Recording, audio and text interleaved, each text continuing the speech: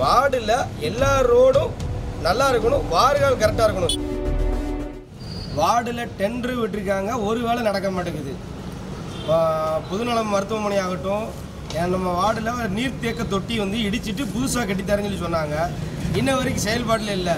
அதை இடிச்சிட்டாங்க அது பக்கத்தில் ஒரு பாலம் அமைச்சிருக்காங்க. அந்த பாலம் பார்த்தீங்கன்னா பாலம் கட்டி போட்டு ஒரு மாதம் ஆச்சு. அந்த மக்கள் ஒரு முடுக்கு தெருன்னு எதுக்கு பேர் இருந்துச்சுன்னா சின்ன தெரு பேர் பேர் தான் முடுக்கு தெரு. அந்த முடுக்கு தேரில் நூறு வீடு இருக்கு. நூறு வீடு மக்களும் பயன் நடந்து போற பாதையில பாலத்தை கட்டி போட்டு இடிஞ்சு கிடக்கு. அது செயல்பாடு இல்ல. கண்டிக்கிறோம் கண்டிக்கிறோம். கண்டிக்கிறோம் கண்டிக்கிறோம். செயல்படாத நகராட்சியை கண்டிக்கிறோம். கண்டிக்கிறோம் கண்டிக்கிறோம்.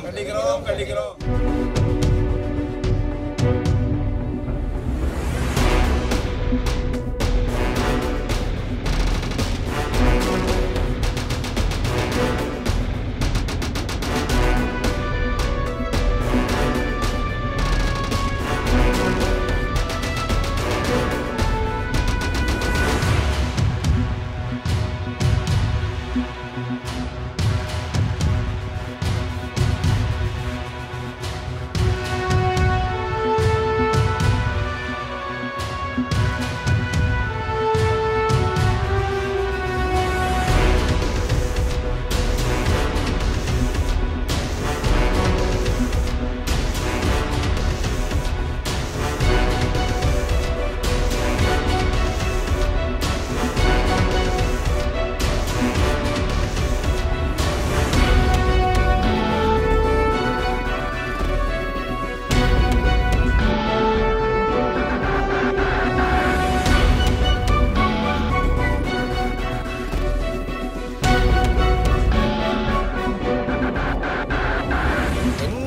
என்ன தேவைன்னு தெரியுமா? வேற ஒன்றுமே வேண்டாம். பணம் கொடு காசு கொடு எதுவுமே கேட்கல வா வார்டில் எல்லா ரோடும் நல்லா இருக்கணும் வார்கள் கரெக்டாக இருக்கணும். இந்த ரெண்டு மட்டும் பண்ணி கொடுத்தாலே மக்களுக்கு போதுமானதான் வேற எதுவுமே தேவையில்லை.